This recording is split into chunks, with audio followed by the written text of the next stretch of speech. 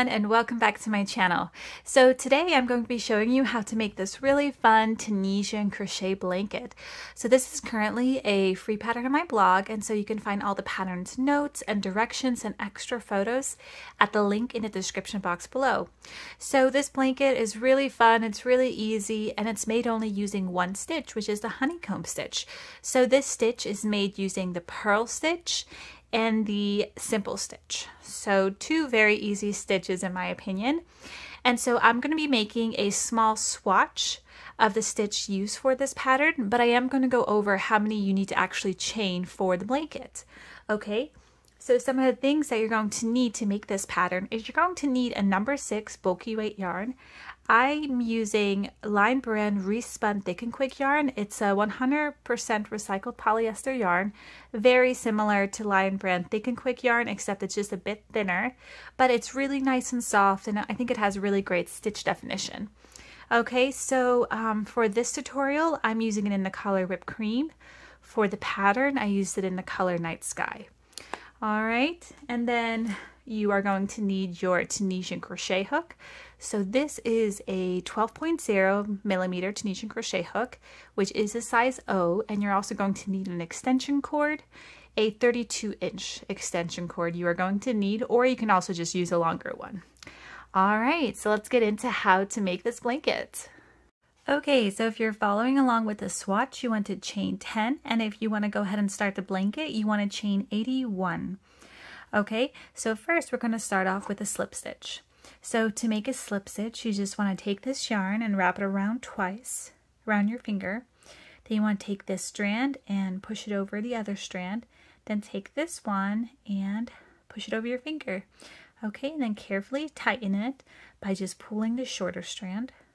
Okay, then you want to grab your hook and go ahead and place it in that loop and then just tighten it. Okay, all right. So let's go ahead and start a chain 10. So yarn over and pull through that first loop.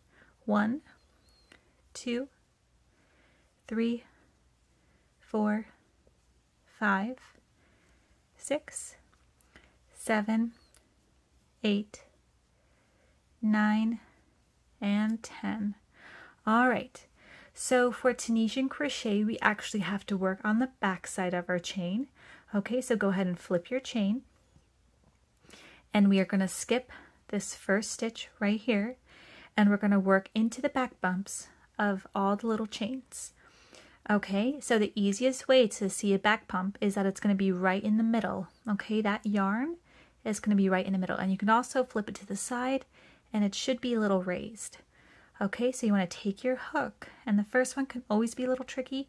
I just like to spread my chain apart just a little bit so I can get my hook underneath Okay, and I just pull it right through. Then I yarn over and I pull through. Okay, so you should have something that looks like this. All right, so let's go to our second back bump, which is right here. So we're going to take our hook, pull it right underneath, yarn over and pull through. Okay, you should have three loops on your hook. All right, here's our next chain with our little back bump. And we're going to do the exact same thing. And if you have to use your finger to get it underneath, that's absolutely fine. I do it a lot. so, all right, let's take our hook and put it right underneath that back bump. All right, and just continue to do that until the end of the row. Okay, and so this is also known as our forward pass here.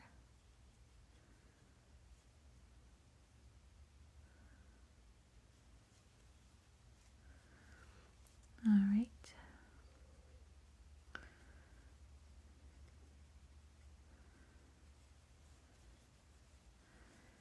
Okay, looks like I have one more here. Okay, so your last one will look like this. All right, I'm going to use my fingers here again because this looks like it's a little bit of a tighter chain since our it's our beginning one. All right, and then yarn over and pull through. Okay, so you should have something that looks like this. I did have to remove my extension cord just because it was making a bit much, uh, I was making a lot of noise for this video. Okay, but it should look like this. Okay, so now we're going to work our return pass. So for the return pass, you want to yarn over and pull through that first loop. Okay, and then when you yarn over for the second time, you're going to pull through two loops. Okay, and then you want to continue pulling through two loops. So yarn over and pull through two loops.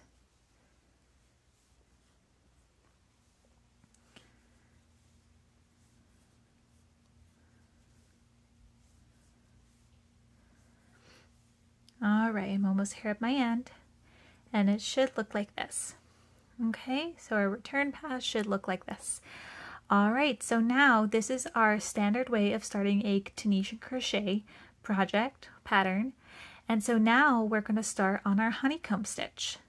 Okay, so now for row two, we're going to be working our honeycomb stitch, okay? And so the honeycomb stitch is made by alternating between a simple stitch and a purl stitch. So we will first start off with a simple stitch, then a purl, then a simple, then a purl, and you want to keep on going till the end of the row. Okay, so to make a simple stitch, you want to take your hook and go into that, not this stitch right here, but this one right here, and place it right underneath the first vertical bar. Okay, then you want to yarn over and pull through. Okay, so it should look like this. Now we're going to make a purl stitch. So for a purl stitch, you're going to move your yarn forward. Okay, so not back like you would normally do, but forward. Insert this hook underneath the vertical bar. And then now you want to move that yarn back Place your thumb right here so it holds that strand and then pull it through. Okay, so it should look like this. Now we're going to do a simple stitch. So take this hook and place it right underneath the vertical bar, yarn over, pull through. All right, so now we make our purl stitch. So move the yarn forward, go underneath the vertical bar, then move the yarn back, place your thumb right here so the yarn doesn't move, and then go right underneath that loop. Okay, and so now it's actually really easy to um, identify these stitches because the purl stitch is always going to be a bit slanted. Okay, and it actually looks very much like knitting.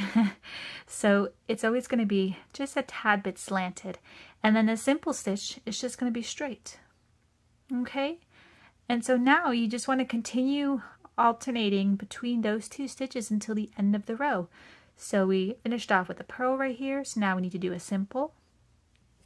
Okay, so hook underneath the bar, yarn over, pull through. Now purl, yarn forward, insert hook, yarn back, place thumb, pull through. Okay, simple, yarn underneath the bar, yarn over, pull through. Okay, and then purl, yarn forward underneath the vertical bar, push the yarn back, place thumb, and pull through. Okay, and so now we're here towards the end, and all we want to do is place this hook underneath two strands of yarn, okay? And so this one can be a little tricky, especially at the beginning. So I do um, move my fingers like this till I have the till I can see the two strands. So it should look like this. It's going to be right in the middle of here, okay? And then you just want to insert your hook through, yarn over, and pull through. Okay, so it should look like this. Okay, so this was just our forward pass. So now we have to do our return pass. So that's going to be the exact same like we just did. So yarn over, pull through that first loop, yarn over, and pull through the next two loops. Okay, and then yarn over and then keep on pulling through two loops until you've reached the end.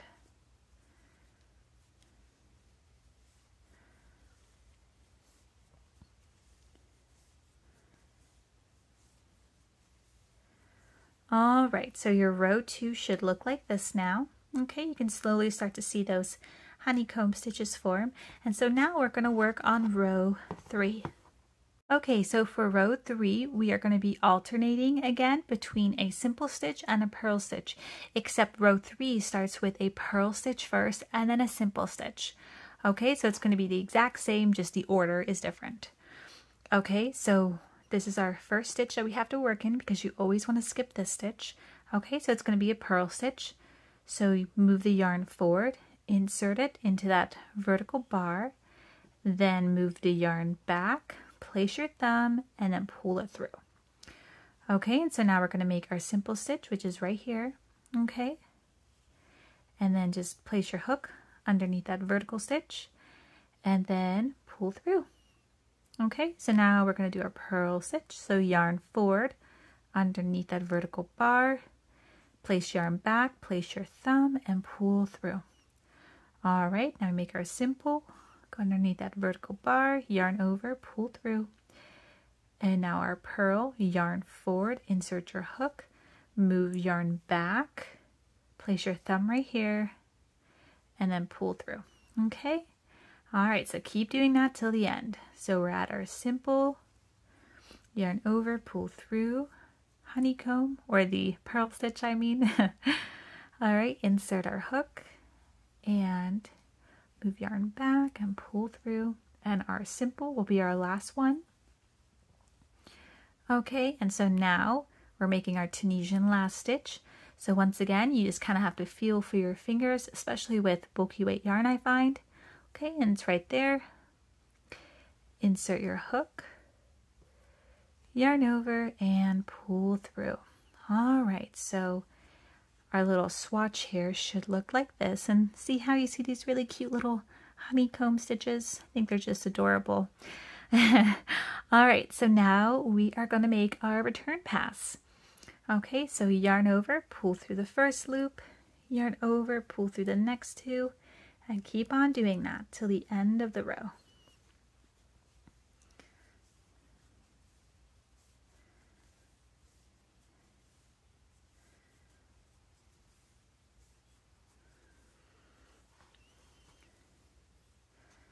All right, so that completes row three. All right, so for the next row, which is row four, through row 80, you want to continue to alternate between rows 2 and 3. Okay, so since I'm making a swatch, I'm just going to stop right here and I'm going to be showing you how to finish off the blanket because this is a Tunisian slip stitch. So it's kind of similar to regular crochet, except since we're making the honeycomb stitch, I'm just going to show you how to complete the rest of the honeycomb stitch so you don't have a half a honeycomb, if that makes sense. All right, so here we go. Since I just started with a purl stitch for my row three, for my row four, I'm going to start with a simple stitch. Okay, so I'm just going to insert this hook into that first vertical bar. I'm going to yarn over and pull through and just like a slip stitch, like a regular crochet, I'm going to pull through that stitch. Okay, so my first stitch is done and completed. All right, so now we have to make our purl stitch. So just yarn over, Make sure you move your yarn forward. Insert your hook and then move your yarn back. Thumb over and pull through and then pull through one more time to create that second slip stitch. Okay, so it should look like this. All right, so now our simple stitch. So insert your hook into that vertical bar, yarn over and pull through. Okay, and so that's what you're going to do until the end of the row. Okay, and see how nice it finishes it off really nicely. All right, so our purl stitch.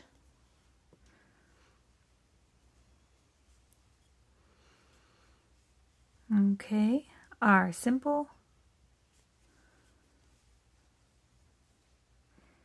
Purl stitch again.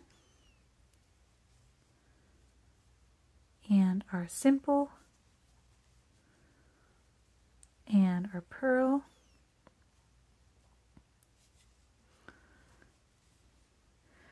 All right, and so now we're here at the end, and so you just want to keep on doing what you've been doing. So insert your hook into those two loops, yarn over and pull through, and then pull through one more time. Okay, and so your little mini swatch or your blanket should look like this now. So all you want to do to finish off your blanket at this point is you want to cut your yarn, and I would say to leave about a six inch tail end.